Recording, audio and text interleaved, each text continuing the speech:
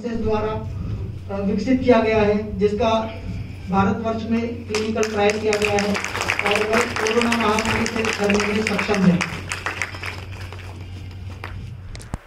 वालेकुम आज के इस वीडियो में आई सिक्सटी फोर से रिलेटेड बातें करूँगा।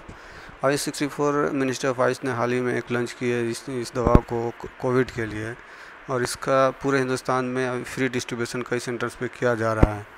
तो आज इस वीडियो में बात करूँगा कि ये ड्रग क्या है।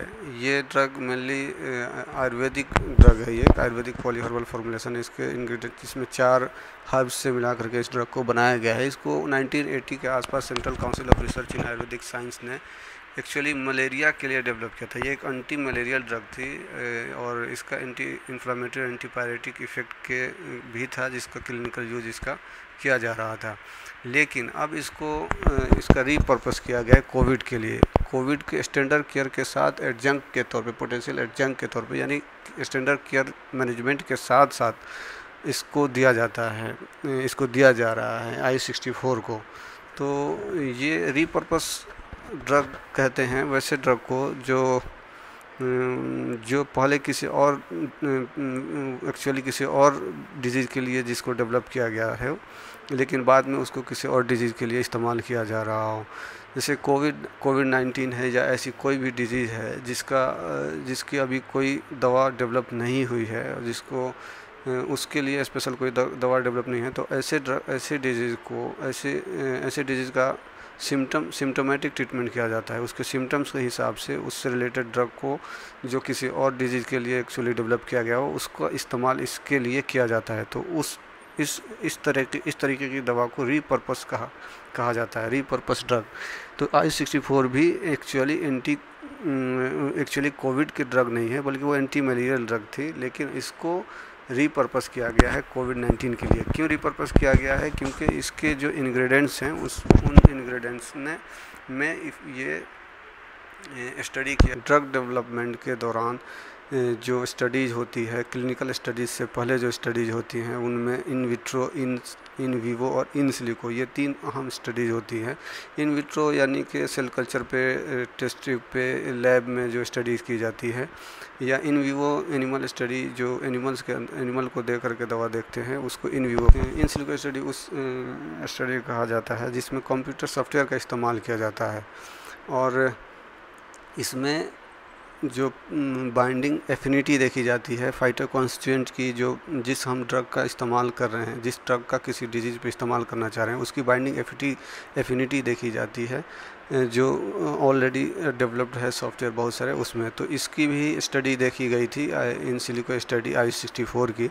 आई सिक्सटी फोर में जो चार इंग्रेडिएंट्स हैं, उस, उसके कॉन्स्टिट्यूएंट्स जो उसमें फाइटो कॉन्स्टिट्यूएंट हैं, उनमें थर्टी सिक्स कॉन्स्टिट्यूएंट्स में से थर्टी फाइव कॉन्स्टिट्यूएंट ने बहुत ही ज़्यादा बाइंडिंग एफिनिटी दिखाई थी कोविड नाइन्टीन के लिए। कोविड नाइन्टीन वायरस के ज़रिए। तो इसलिए इसको रिपर्पस किया गया और फिर ये जो इन इन सिलिको स्टडी की ये रिपोर्ट है जो इस पर पब्लिश की ओरिजिनल आर्टिकल उसमें ये रिपोर्ट दी गई थी। इन सिलिको स्टडी के अलावा क्लिनिकल स्टडीज़ भी हुई हैं। अलग अलग सेंटर्स पे छः क्लिनिकल स्टडी की गई है। हुई है। उसमें इसका पॉजिटिव इफ़ेक्ट देखा गया है कोरोना कोविड के लिए।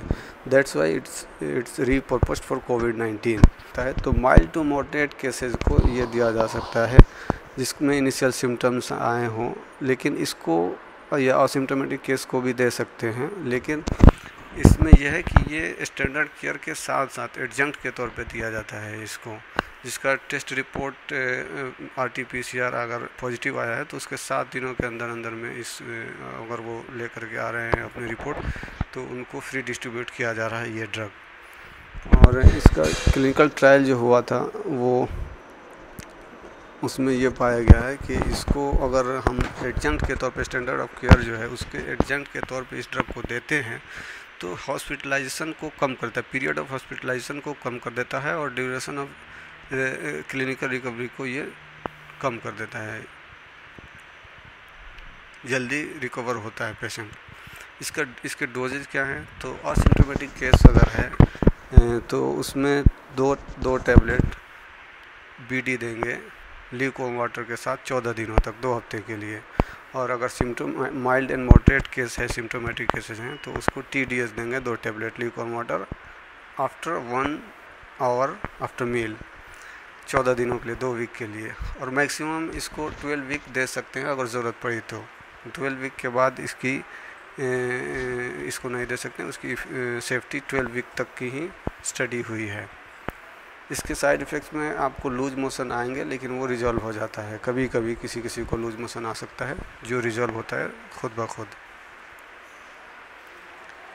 कोमॉर्बिटी पेशेंट, अगर कोई कोविड पेशेंट है, पॉजिटिव है, उसको को, कोमॉर्बिटी है, हाइपरटेंशन है, डायबिटिक है तो वो भी आई सिक्सटी फोर ले सकता है, लेकिन उसको, उसके जो जो कंडीशन है हाइपरटेंसिव है डीएम है, उसकी जो ड्रग है, उसको वो डिसकंटिन्यू नहीं करेगा, वो अपना उस ड्रग को कंटिन्यू रखेंगे। ये प्रेगनेंस, प्रेगनेंट लेडीज़ में इसकी अभी इफ़िकेसी सेफ्टी इस्टेब्लिश नहीं है तो इसलिए एक लैक्टेटिव वोमेन और प्रेगनेंट लेडीज़ को नहीं दे सकते हैं। ये मार्केट में अवेलेबल है, ये ड्रग एक तो गवर्नमेंट के ज़रिए कई सेंटर्स पे फ्री डिस्ट्रीब्यूशन किया जा रहा है, लेकिन ये मार्केट में भी अवेलेबल है, आयुर्वेदिक फार्मेसीज पे आप इसको, इससे ले सकते हैं, लेकिन ये ओवर द काउंटर ड्रग नहीं है। इसको जब भी लें तो किसी न किसी आयुष फिजिशियन के सुपरविज़न में ही ले सकते हैं आप। शुक्रिया।